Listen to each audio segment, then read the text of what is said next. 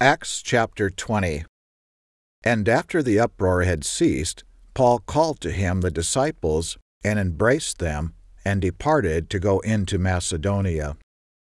And when he had gone over those parts and had given them much exhortation, he came into Greece and there stayed three months. And when the Jews laid wait for him, as he was about to sail into Syria, he purposed to return through Macedonia. And there accompanied him into Asia Sopater of Berea, and of the Thessalonians Aristarchus, and Secundus, and Gaius of Derbe, and Timothy, and of Asia Tychicus, and Trophimus. These going before waited for us at Troas. And we sailed away from Philippi after the days of unleavened bread, and came to them at Troas in five days, where we stayed seven days. And on the first day of the week, when the disciples came together to break bread, Paul preached to them, ready to depart on the next day, and continued his speech until midnight. And there were many lights in the upper chamber where they were gathered together.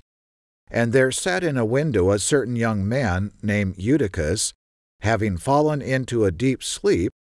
And as Paul was long preaching, he sunk down with sleep, and fell down from the third loft, and was taken up dead. And Paul went down and fell on him, and embracing him said, Trouble not yourselves, for his life is in him. When he therefore had come up again, and had broken bread and eaten, and talked a long while, even until the break of day, so he departed. And they brought the young man alive, and were not a little comforted. And we went before to ship, and sailed to Assos, there intending to take in Paul, for so he had appointed, minding himself to go by foot. And when he met with us at Assos, we took him in, and came to Mytilene. And we sailed from there, and came the next day over against Chios. And the next day we arrived at Samos, and stayed at Trogyllium.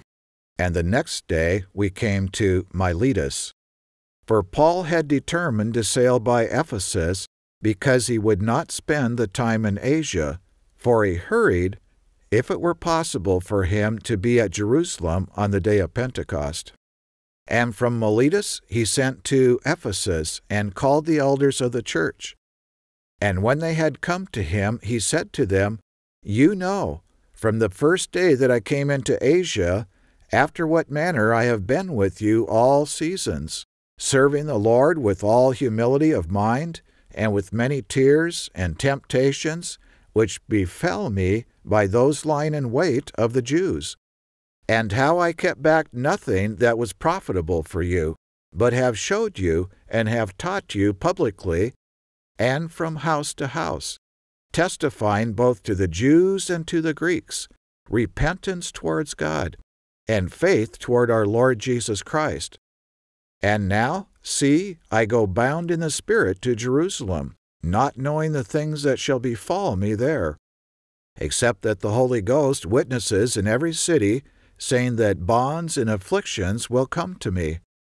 But none of these things move me, neither count I my life dear to myself, so that I might finish my course with joy, and the ministry which I have received of the Lord Jesus Christ, to testify the gospel of the grace of God. And now behold, I know that you all, among whom I have gone preaching the kingdom of God, shall see my face no more. Consequently, I take you to record this day that I am pure from the blood of all men, for I have not shunned to declare to you all the counsel of God. Take heed therefore to yourselves and to all the flock, over the which the Holy Ghost has made you overseers, to feed the church of God, which he has purchased with his own blood.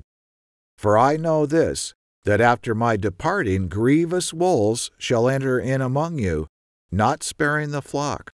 Also of your own selves shall men rise up, speaking perverse things to draw away disciples after them. Therefore watch, and remember that by the space of three years I ceased not to warn every one night and day with tears. And now, brothers, I commend you to God and to the word of his grace, which is able to build you up and to give you an inheritance among all those which are sanctified. I have coveted no man's silver or gold or apparel. Yes, you yourselves know that these hands have ministered to my necessities and to those that were with me.